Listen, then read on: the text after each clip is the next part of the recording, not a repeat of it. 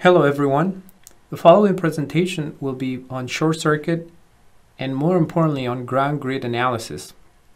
Our presenters today will be Yichen Bi, Senior Electrical Engineer and Product Manager at ETAP, and Victor Andrade, VP Business Development at ETAP. Let's start off with going over the agenda for the presentation. Today's presentation will introduce the short circuit module in ETAP, as well as the ground grid systems. It will also go over the importance of this safety module, and it'll, it'll also go over the features and capabilities that are unique to ground grid systems, followed by a conclusion. Let's begin by as asking the question, why perform a short circuit study? And let's go over the following three items. Number one, it is to calculate the amount of maximum fault current at a given location. The safety aspect of this is to determine the protective device capability to withstand a fault current. So essentially, we want to make sure that the protective devices um, are not overduty.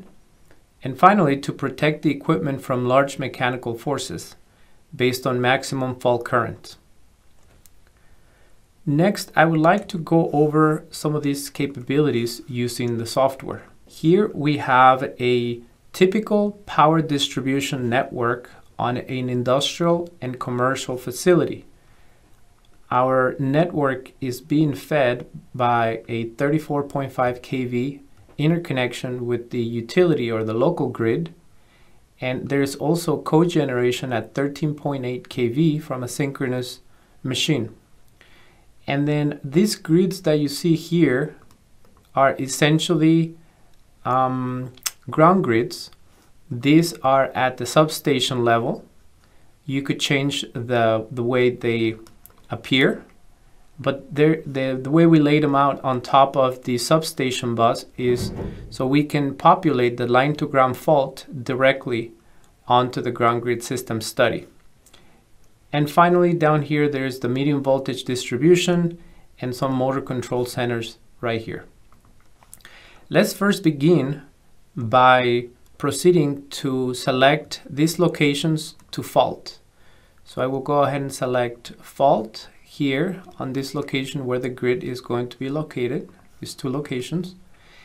And first capability and feature that I like to go over is running a three-phase device duty. So what ETAP has done now is it has performed a maximum available fault calculation as per the ANSI standard and provided us with the maximum available fault.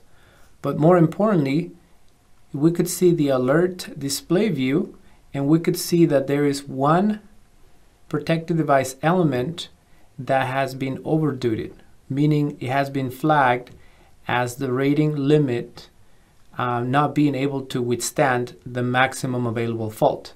So you could think of this capability as kind of like a, an operator, right? This is your digital twin and you have an operator. When you run this simulation, um, ETAP will automatically flag any protected devices that may be overduty, ranging from circuit breakers to fuses, switch, um, ATS, and also the, the uh, bracing capability on switchgear MCC um, as highlighted on this location. Next, uh, what I like to do is I would like to um, model two operating scenarios. So the first one is under normal conditions, and then from my um, from my configuration manager, I'm gonna go ahead and select emergency. So you, you now see that some of the some of the um, some of these branches have been grayed out, meaning they're de-energized. Now my facility is on emergency mode. I will quickly run the same simulation. I see my updated available fault values for both locations. And now using the capability of the uh, short circuit analyzer, I can quickly compare between the two. Finally, I would like to populate my single line to ground fault um, that are that is to be for grid one and grid two. And for that, I'm going to run the maximum available fault. And this will provide me with the ability to display uh, and also publish three-phase bolted fault, line to ground, line to line, line to line to ground. And in this instance, we're in, in this particular exercise, we're going to leave it as line to ground, which is the um, type of fault to be used by the ground grid systems module. At this point, I'd like to pass it over to Yichen. Hello, everyone. My name is Yichen Bi. I'm the Senior Electrical Engineer and the Product Manager of the Ground Grid module. In this presentation, I would like to show some challenges which engineers may encounter during the ground grid design, and also to show how ETAP solution can help engineers to solve those problems. In the world of the ground grid study and design, the industry has been facing multiple challenges, which I would like to highlight some here. The first challenge, which is also the most important reason we wanted to design and construct the ground grid, is to guarantee the safety. When the line to ground fault happens, the high fault current will inject into the grid and the surrounding soil, in this case, the high fault current can produce high voltage on the equipment and the surrounding soils, which is very dangerous to person when standing on this area. However, if we already have a properly designed grid in this area, we can limit the voltage under certain threshold to guarantee their safety. The second challenge is to design a good grounding system to make sure the power system works within the operating limit in this case, a good electric pulse is required to allow the fault current flowing into the soil. Another challenge comes from the short circuit protection and coordination. We wanted to reduce the fault clearing time by reducing the ground impedance. The last challenge, which may be overlooked sometimes, is the soil interpretation we usually spend a lot of time on designing the grid itself, but overlook the accuracy of the soil measurement and the soil modeling. It turns out that the ground grid analysis result can be compromised by it. So, as our attempts to solve these challenges, we provide multiple tools to help engineers efficiently finish the design and decision procedure without diving into too much calculation details as a solution, we provide two calculation methods based on the either IEEE or finite element method to help engineers to find the touch and the step voltage on the grid. We can also calculate the ground impedance based on the different grid configurations and the soil environment. To help the engineer to interpret the soil measurement data, we developed the soil analysis tool to convert the soil measurements data collected by the Wenner four-pin method into the soil model. Besides, the step and touch potential can be visualized through both 3D plotting or 2D plotting. So what benefit can we obtain from the computer modeling of the ground grid system? Generally, the computer modeling can predict the ground grid performance and also identify the safety issues before the construction. It is less expensive than field testing. For example, it would be good if we can calculate the touch and step voltage in theory at each point ahead of the construction. With the help of the modeling, one can identify the area exposing to high voltage and the engineer may invest more copper in this specified area instead of on the entire site. Also, the computer modeling can do the design optimization and can be easily expanded for the future project. In ETAP, the software, software provides two different methods to analyze the ground grid. There are IEEE method and finite element method. These two methods share some common features, like both methods can import the short circuit calculation results from the ETAP 1 diagram to do analysis. Both methods can provide ground resistance, maximum touch and step voltage. Also, both methods can use the soil analysis results. A lot of times, engineers connect the on-site soil measurement data and then use the graphic master to provide by the standard to interpret the measurement data into the soil modeling. However, generally this procedure is quite time consuming and may involve errors when read from the curve. So in ETAP, the program provide this handy tool to user, so user just sample into the measurement data, and the program will calculate the correct soil model based on the IEEE 80 standard. Let me briefly discuss the difference of the two methods here. So the first one is the IEEE method. The IEEE method used the equation provided by the IEEE 80 standard. It is an empirical method which can provide only the maximum touch and step voltage without knowing the detailed voltage distribution for every point of the grid. This method supports only the single grid modeling and supports only certain regular grid shapes. In this case, this method works better for simple ground grid design when only the maximum voltage is required to be known. The second method is the finite element method, which is an analytical method. This method supports an irregular ground grid shape and more than one ground grid in the simple modeling. Better than IEEE method, finite element method provide not only the maximum touch and step voltage, but also the voltage distribution on the entire grid site. This method will work better if you would like to analyze the complex grid system or more than one ground grid system together, or simply you want to detail three-dimensional voltage plotting. Sometimes the scale of the ground grid may be quite large, like the one we generally use in the solar farm, or sometimes this configuration quite, can be quite complex. To avoid redoing those drawing in the ETAP again, we also provide a handy tool to the user which can be used in the AutoCAD to help the engineers to export their ground grid drawings. I would like to quickly show a sample of the ground grid system in the ETAP program. Okay, let me use a sample project to demonstrate how the ground grid system works in the actual design. Currently, the presentation is showing the interface of the ground grid system. As we can see, there are three different sections in this interface.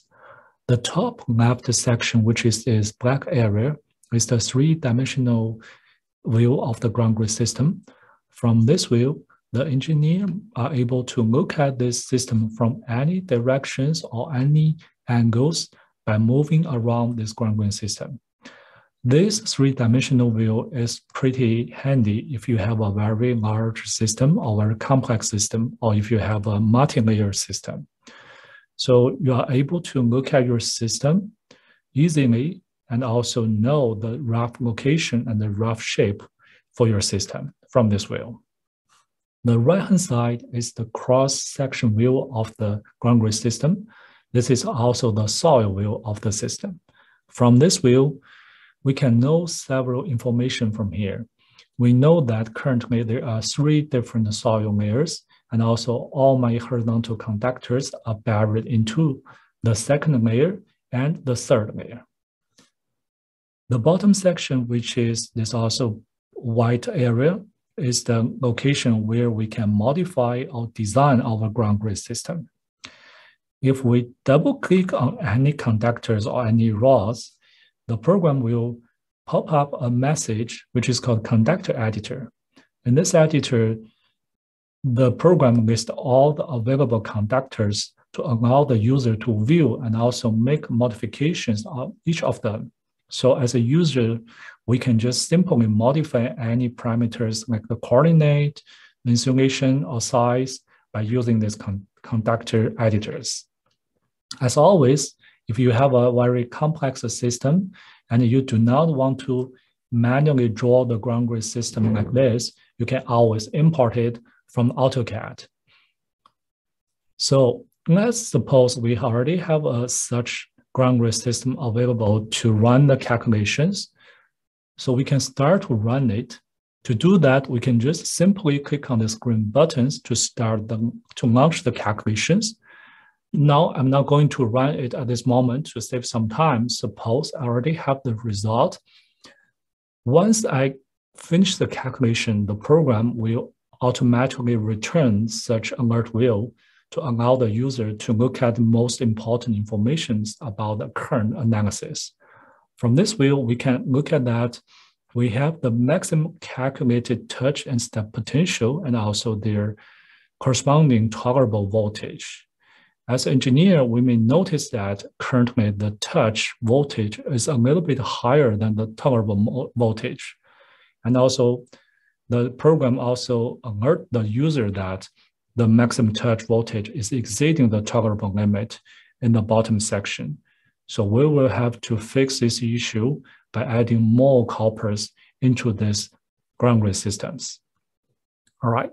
So if say I wanted to look at the plotting of the system, what can I do? I just click on this plot selection button and the program will allow the user to choose several different plotting types. It has the absolute voltage, touch voltage, and step voltage, and also allow the user to choose either three-dimensional plotting or 2D contouring plotting. In this case, suppose I wanted to look at the touch voltage. For both types, I just select those and click OK to generate. After a while, it will gives the plotting for the voltage. Okay, this is our 2D contouring for the touch potential.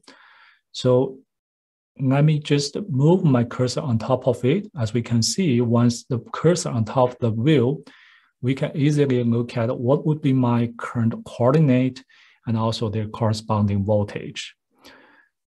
Okay, if I look at the three-dimensional view of the plotting, we can also move around my plotting and look at the plotting from any directions or any angles. When I move my cursor on top of it, I can also read the voltage and their corresponding coordinates.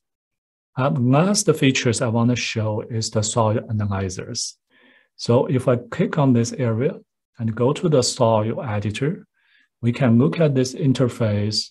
There's a section allow the user to enter the soil measurement data from on-site. So the, as a user, I can just grab the Wenner-Fulpin method measurement table provided by the on-site engineer and enter all those data into this section. And once I click the calculated button, it will give me the soil models based on my soil measurement data. In this case, we can notice that the soil resistivity of my top layer, it would be 73 ohm meter, and the lower layer would be 287 ohm meter.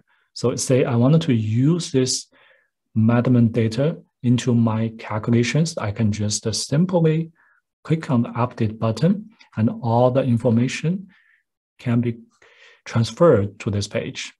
Thank you, Yichen. As a conclusion for today's presentation, to provide ETAP's arc safety in not just short circuit or not just ground grid modules, but it is to provide the latest breakthrough simulation software technology for the evaluation of electrical hazards. ETAP is also committed to the continuous research and development of new domestic and international analysis methods, and our design principles are to provide the most advanced simulation algorithms and consider the human factor to reduce the risk of electrical injury, as we have seen on this presentation. Thank you everyone for attending today's safety presentation.